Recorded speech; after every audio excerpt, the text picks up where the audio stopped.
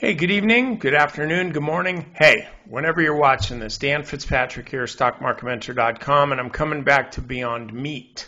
Now, um, this is a stock that we've been all over this week um, since the stock broke out here on um, on Tuesday, right above the 50. Uh, this is it's a really really tight volatility squeeze.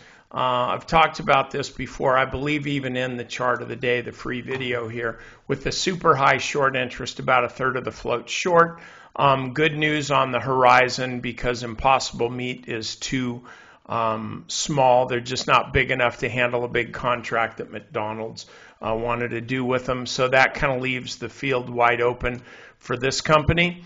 And um, the stock, I think, look, it was up um, way over 200 at one point, almost 240, I think. And I mean, that was too frothy. That was just stupid. Uh, I made some money on this stock on the way up, but I sold way too soon. Um, that's for sure. I, I, just, to be honest with you, I, am not a true believer in anything and in Tesla and Beyond Meat, any of that stuff that some of you guys think is a religion. Uh, I can't hold a stock through a swing like this that goes up and p- comes down in five or six days 31%. That is not something that I can do. You look back here and say, like, oh, well, yeah, boy, you just buy this here and then you just hang on to it. These are big old swings in one day from the top of one day to the bottom the next day to where it just opened up. 32, 33% swing. That's pretty nasty. And then in just five trading days later, it's up 60%. So this is a trade, you know, it's fine. If you held this stock all the way through, good. I'm sure you're really long Bitcoin too. I like this kind of pattern where the stock is, it's predictable.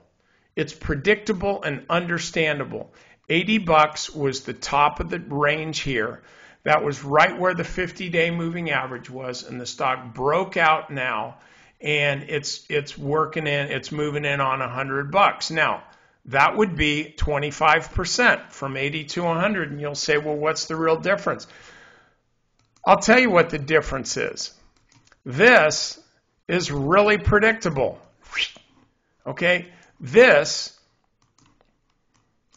here is not. This is just all over the map. So when you see a trade like this, this is a time to really trade this with some degree of confidence. You still want to be prudent about it.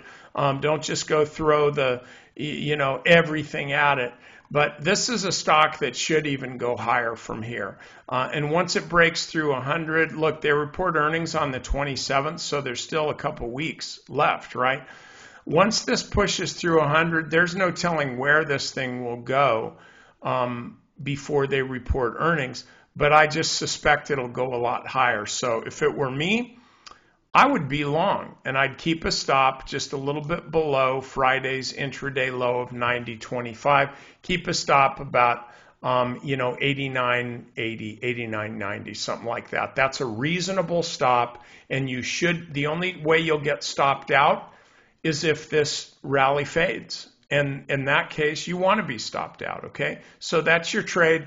Uh, members, I have some really special things for you this weekend uh, that will are guaranteed to help your trading. No question about it. So make sure you pay attention in particular to the second video. And if you're not a member, look, drop that dime, guys. Um, it's a free 30 day trial. Um, if you don't like what we're doing, cancel no, nothing personal on my part. I won't even know who you are. Uh, but check it out because we really are doing some good things with the idea of helping you become a better trader in 2020. All right, see you next time.